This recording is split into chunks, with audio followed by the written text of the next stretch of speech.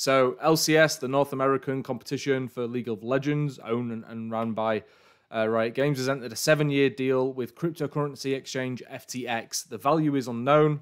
Uh, the deal was broken by Jacob Wolf over at Dot Esports and then confirmed shortly after by Riot Games. Now, TSM and FTX entered a 10 year naming rights sponsorship deal a couple of months ago. I think it was in June, uh, worth $210 million.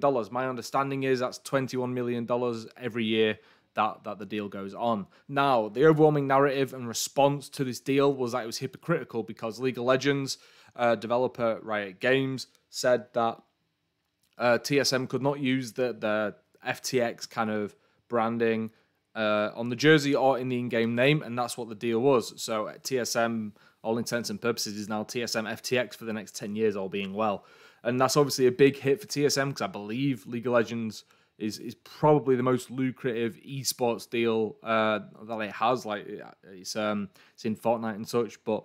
Uh, the, the franchise slot or the, the, the long term partnership slot that they've got in the LCS will, in theory, be the most lucrative for them in the long term. So obviously, it's a big knock not being able to use your branding and, and utilizing the new sponsor you've got that's paying you two hundred and ten million dollars over ten years in in the game and, and on the broadcast, right? And, and, so people think because the LCS is going to show FTX all over its, its broadcast as part of the deal over seven years, that is hypocritical. Well, the thing is, like, as like a key piece of context that that was in the announcement from Riot Games is that um, in areas and on broadcasts in areas where there are tight restrictions and regulations around the advertisement of cryptocurrencies and the exchanges for cryptocurrencies, that they would remove that um, that that branding from uh, and the sponsored segments, or at least the sponsorship of the segment from FTX. So, for me, I, I feel personally, just get this out of the way, TSM should be able to use it in the broadcast, uh, not on the jersey perspective, but like wherever the, their branding is involved. And and that because if you can change some elements of the broadcast depending on the channel it's going out on, then surely you could do that for TSM and sweeten the deal a little bit.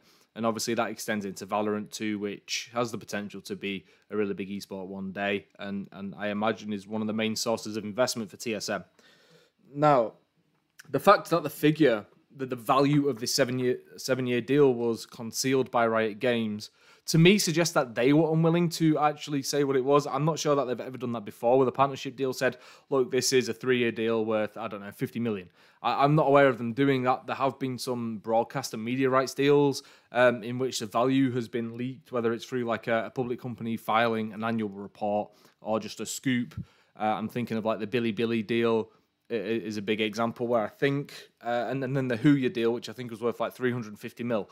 Though a key piece of uh, context there is they're both at least partly owned by Tencent, so it's almost like Tencent giving itself money in in an, uh, in another just like shell company. It's, it's not quite that simplistic or sinister, but you, you get the deal there.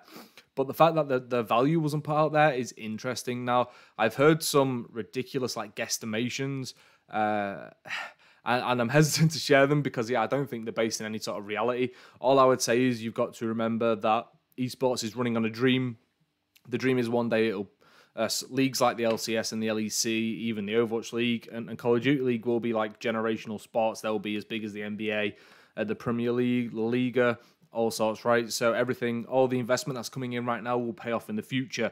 So if they're selling a seven-year dream of how big they'll be, to FTX with the context of how they've been over the past five, six, seven years. I don't know exactly when the LCS was started, but say how like what form the LCS was in in 2017, 2018 versus where it is now.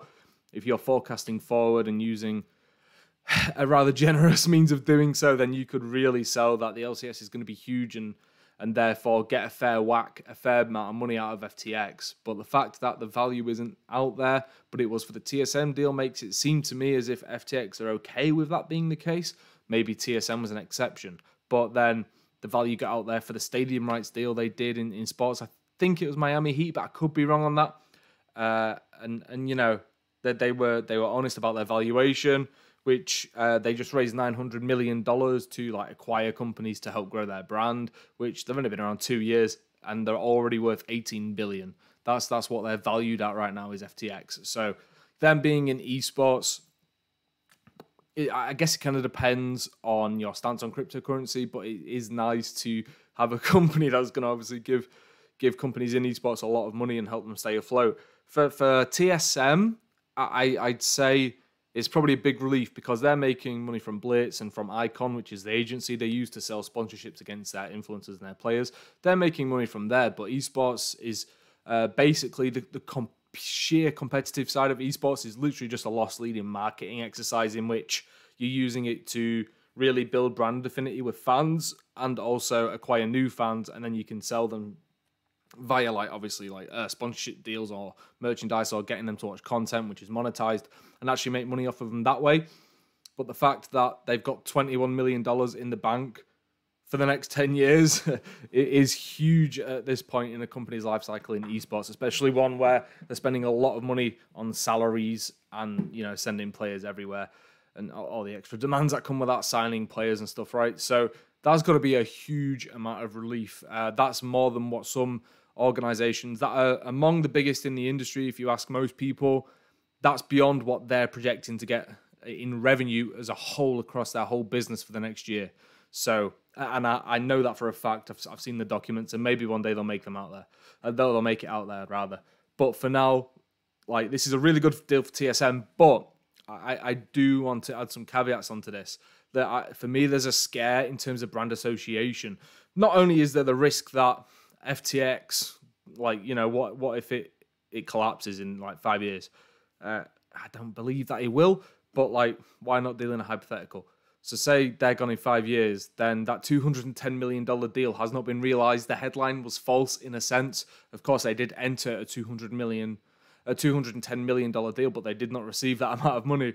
And what if TSM are banking on on that dosh and making presumptions and and and you know operating in a sense that they have that money and what if they don't have that money any longer? And then that, that could fuck up a lot you know uh, especially when like 1 million is a huge deal for an organization realistically. Uh, never mind 21 each year. So that there's a brand association scare as well in the fact that what if it ends up that ftx have done something dodgy? Or they're embroiled in some pump and dump you know there's a lot of stuff going on in crypto right now where people are really trying to get rich quick I'm not I'm not suggesting that the company would do this, but in the off chance that they would, that would look really bad if you're TSM and you are basically advertising them throughout everything that you do on social media, in broadcasts, the like, probably marketing material, uh, at events and such. There'll probably be activations, and if not, they'll at least in games that are not owned by Riot Games be advertising at the events themselves, right? What if you're attached to that? Uh, I wonder if they have some a clause in their contract where they can get out of it quickly, but then they do lose 210, well, like a fraction of the 210 mil, depending on when this hypothetically happens. You know, there's a lot riding on this for TSM, and I, I, and also as LCS with that association as well, right? Even though they haven't quite taken on like the naming rights sponsorship, which is a bigger deal, a bigger association. You saw what happened with LEC and Neom. I, I think it was 2020 um, where the, the deal was over in like a day or two uh, because the fans, uh, the overall community, the players, uh, team owners, I think Carlos from G2 spoke out about it on Twitter, and then obviously the casters and the analysts themselves were not happy with it, boycotted the, the league effectively, and then the deal was uh, sealed, but not in the way they were hoping. It was it was done and dusted in terms of being ended rather quickly. What if there was a sharp U-turn on FTX because of something they've done that the community deems not to be acceptable? You know, it doesn't look good on leagues associated with it and, and people associated with it, you know. So that I, I think that's it. I, I think saying it's hypocritical, somewhat right, but not entirely. Is it a net good, a net positive for esports? I don't know. I don't like the blanket term because this realistically probably won't affect games like PUBG Mobile and stuff, right? Which is very much an esport as, as much as uh, League of Legends and, and specifically the LCSs.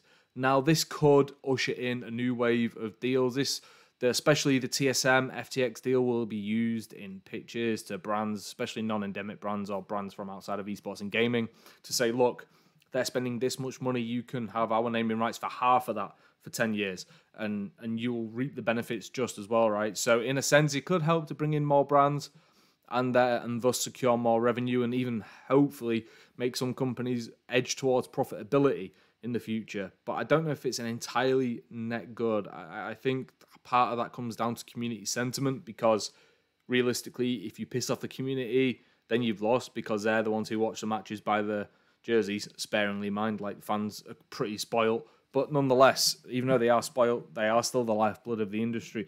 As much as if we didn't have players, then we wouldn't have esports. If we didn't have fans, they could be competing, but it would not be um, as a profession. It would solely be as a hobby, right? So I, I think community sentiment is a huge thing. And, and if there's a massive turn on crypto or FTX specifically in the next few years, a lot can happen in 10 years. We, have seen how quickly NFTs have come. Um, you know, it, it, could go really bad. But uh, that that's that's my two cents on it. It's not inherently bad for LCS or TSM. It's not inherently good for the entire industry, though it could have some positive ripple effects. Uh, I just hope FTX are legit. There's no reason to assume that they wouldn't be right now besides the fact they're in an industry which is got some bad actors in it, but that's every industry and especially esports. So I can't I can't really like speak from that front as if we're all holy and pure. But by no means is that the case. But uh, I just wanted to document this.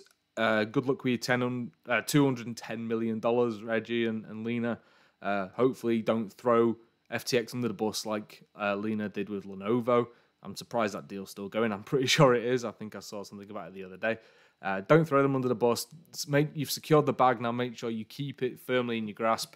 LCS. I mean, I think viewership's dwindling there anyway, and I'm not really sure why it's classed as a major region, North America, when compared to China, Korea, and LEC. But nonetheless, this this shows that Riot Games in North America has a bit of clout with non-endemic brands. It also probably helps that um, LCS has TSM in it, you know.